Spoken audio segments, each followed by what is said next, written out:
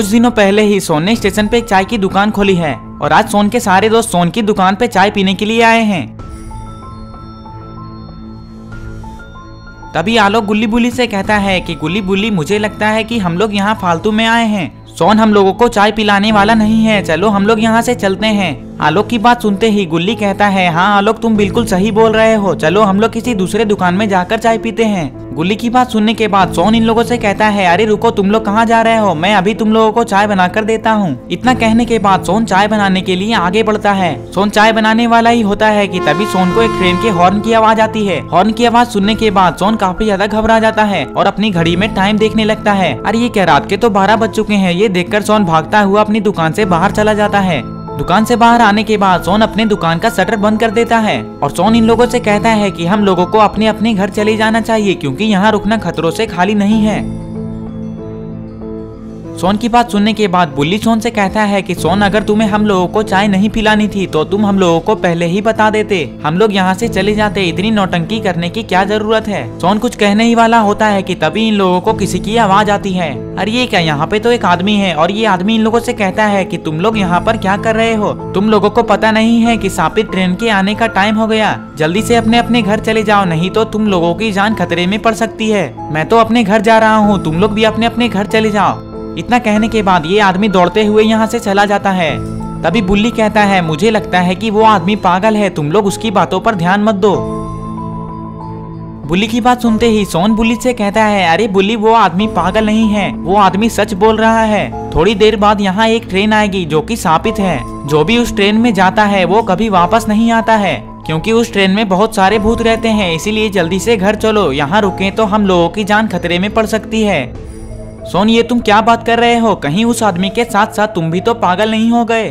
बुल्ली की बात सुनते ही सोन बुल्ली से कहता है कि बुल्ली, मैं पागल नहीं हुआ हूँ और ना ही मैं झूठ बोल रहा हूँ। अगर तुम लोगों को मुझ पर विश्वास नहीं है तो तुम लोग उस ट्रेन में जाकर देख सकते हो। सोन की बात सुनते ही बुल्ली सोन से कहता है कि सोन, अगर ऐसी बात है तो हम लोग उस ट्रेन में जाकर देखेंगे कि उस ट्रेन में भूत है या नहीं। तभी सोन कहता है, अगर तुम लोग उस ट्रेन में जाना चाहते हो तो तुम लोग जा सकते हो, लेकिन मैं तुम लोगों के साथ नहीं जाऊँगा, क्योंकि उस ट्रेन में बहुत ज़्यादा खतरा है। तभी बुल्ली सोन से कहता है, अरे सोन, उस ट्रेन में कोई खतरा वतरा नहीं है। हम लोगों को पता है कि तुम डरपोक हो। तुम उस ट्रेन में जाने से डर रहे हो। अगर तुम्हें डर लगता है तो तुम हम लोगों के साथ मत जाओ।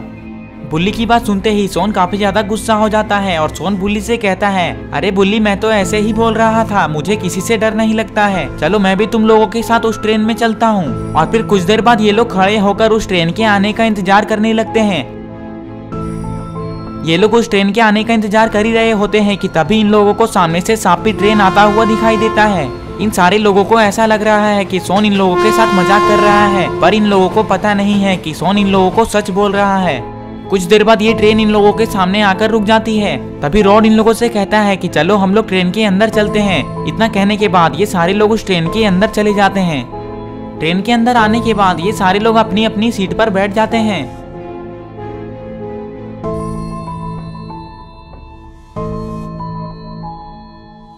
तभी बुली सोन से कहता है कि, सोन, तुम तो कह रहे थे कि इस ट्रेन में बहुत सारे भूत हैं, लेकिन यहाँ तो एक भी भूत नहीं दिखाई दे रहा है। ये लोग बात कर ही रहे होते हैं कि तभी सांपी ट्रेन स्टार्ट हो जाती है और यहाँ से जाने लगती है।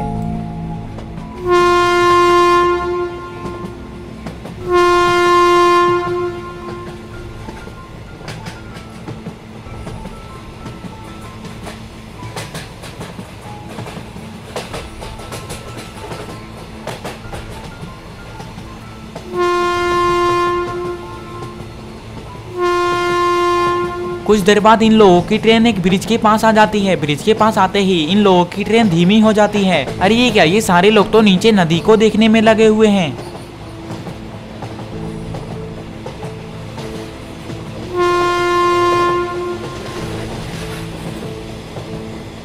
और फिर इस ब्रिज के खत्म होते ही वापस से इन लोगों की ट्रेन स्पीड हो जाती है। और फिर बहुत देर बाद इन लोगों की ट्रेन एक खतरनाक से जंगल में आ जाती है। अरे ये क्या, ये जंगल तो दिखने में बहुत ही ज़्यादा सुनसान है। अरे ये क्या, ये सारे लोग तो सोए हुए हैं। ये लोग सो रहे हैं, पर इन लोगों को पता नहीं है कि ये लोग कितनी बड़ी मुसीबत में फंसने वाले हैं। सारे लोग सो ही रहे होते हैं कि तभी अचानक से सोन उठ जाता है और सोन अपने सामने देखकर बहुत ज़्यादा डर जाता है। पता नहीं सोन ने ऐसा क्या देख लिया। सोन ने देखा कि आगे वाली सीट पे तो कोई बैठा हुआ है। और फिर सोन उस आदमी को देखने के लिए धीरे धीरे उस आदमी की तरफ़ जाने लगता है।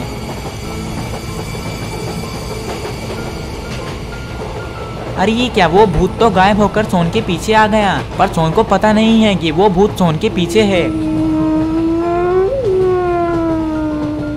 और फिर सोन जैसे ही पीछे पलटता है तो सोन उस भूत को देखकर बहुत ज़्यादा डर जाता है। अरे ये क्या, इधर तो ये सारे लोग सो रहे हैं। सोन उस भूत को देख ही रहा होता है कि तभी अचानक से सोन बेहोश हो जाता है और सोन नीचे गिर जाता है।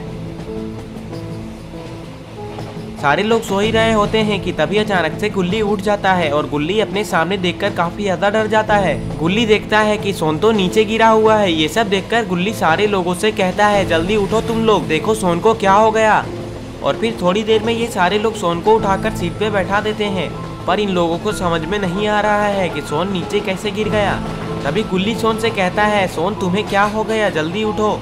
गुल्ली के इतना कहते ही सोन उठ जाता है और सोन इधर उधर देखने लगता है।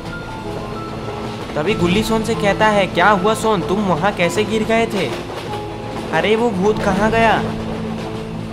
गुल्ली सोन से कहता है, अरे, सोन, तुम किस भूत की बात कर रहे हो?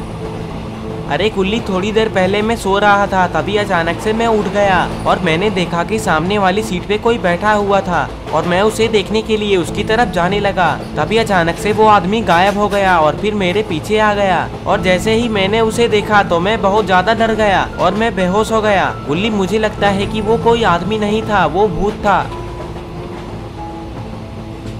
अरे सोन, ये तुम कैसी बातें कर रहे हो? भूत भूत कुछ नहीं होता है। मुझे लगता है कि तुमने कोई सपना देखा है।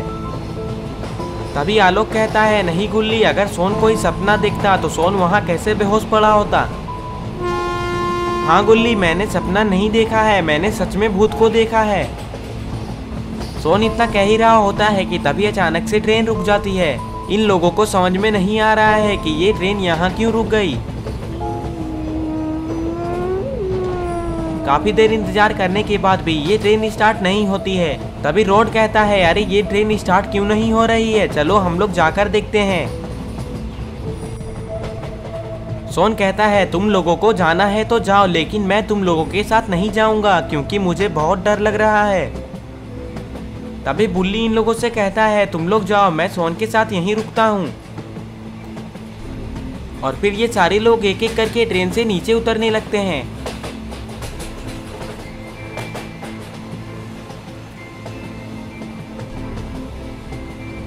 ट्रेन से बाहर आने के बाद ये सारे लोग ट्रेन के आगे की तरफ़ जाने लगते हैं। ये सारे लोग आगे की तरफ़ जा ही रहे होते हैं कि तभी अचानक से ट्रेन स्टार्ट हो जाती है और ट्रेन आगे बढ़ने लग जाती है। ट्रेन को चलता देख ये लोग भी ट्रेन के पीछे पीछे दौड़ने लग जाते हैं।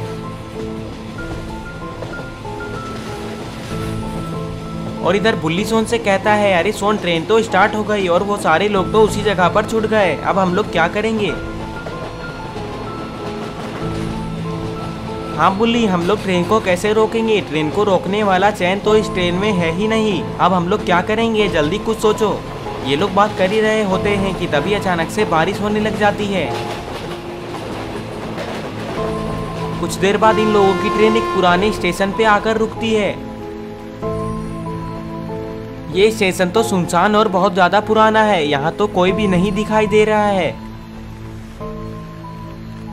ट्रेन के अंदर बुल्ली और सोन ये सोचने में लगे हुए हैं कि ये लोग इस जगह पे उतरेंगे या फिर नहीं। ये लोग ये सब सोच ही रहे होते हैं कि तभी अचानक से ट्रेन स्टार्ट हो जाती है और आगे की तरफ़ जाने लगती है और ये लोग ट्रेन से नीचे नहीं उतर पाते हैं। और फिर काफ़ी देर बाद ये सारे लोग दौड़ते दौड़ते इस जगह पर आ जाते हैं। पर ये लोग अब और नहीं दौड़ पाएँगे क्योंकि ये लोग काफ़ी ज़्यादा थक चुके हैं। इसीलिए ये सारे लोग दौड़ते हुए एक झोपड़ी के नीचे जाकर छिप जाते हैं।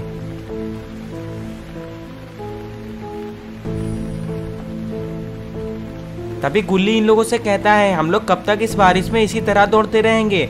हम लोगों को यहाँ रुककर किसी दूसरे ट्रेन के आने का इंतज़ार करना चाहिए। तभी रॉड गुल्ली से कहता है हाँ गुल्ली, तुम सही बोल रहे हो। हम लोगों को यहीं रुककर इंतज़ार करना चाहिए। और इधर सोन और बुल्ली ट्रेन को रोकने के लिए इधर उधर देखने में लगे हुए हैं।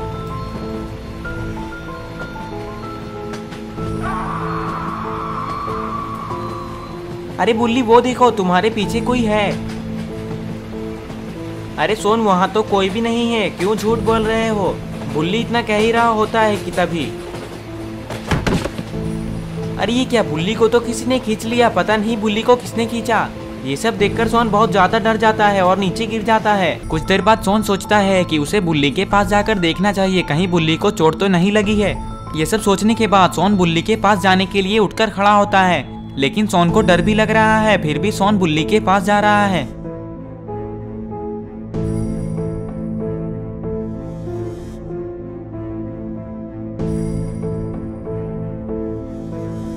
सोन बुल्ली के काफ़ी ज़्यादा करीब पहुँच चुका है, लेकिन सोन को अभी भी डर लग रहा है।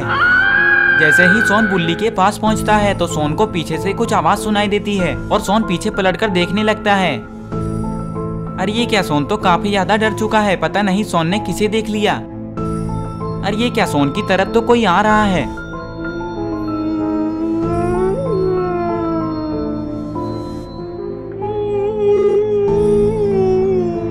अरे ये क्या, उस चुड़ैल ने तो सोन पे हमला कर दिया। उस चुड़ैल के हमले से सोन नीचे गिरकर बेहोश हो जाता है।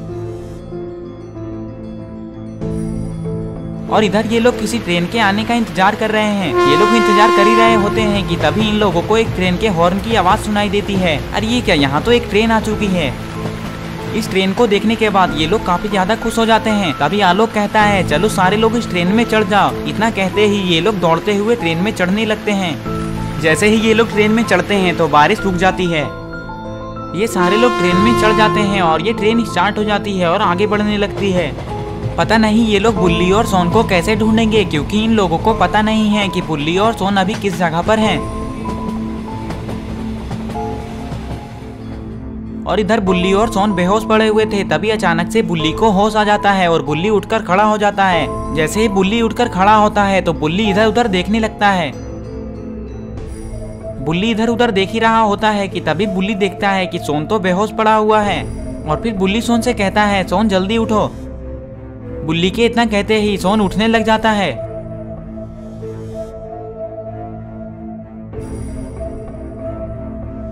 सोन उठकर खड़ा होता है और इधर उधर देखने लगता है।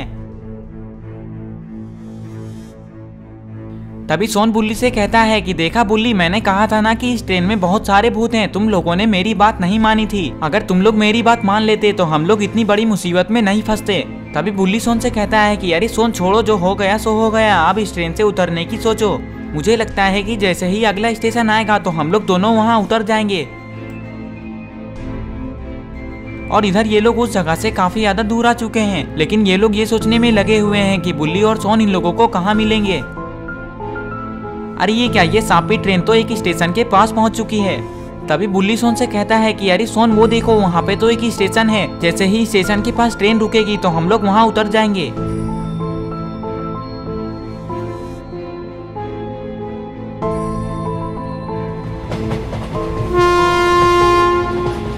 और फिर चापी ट्रेन स्टेशन के पास आकर रुक जाती है। बुल्ली और सोन ट्रेन से उतरने के लिए तैयार हो जाते हैं। तभी इन लोगों के पीछे वही भूत आ जाता है, जिसे देखकर ये लोग काफ़ी ज़्यादा डर जाते हैं। और ट्रेन से स्टेशन पे कूद जाते हैं। और फिर चापी ट्रेन स्टार्ट हो जाती है और यहाँ से आगे चली जाती है।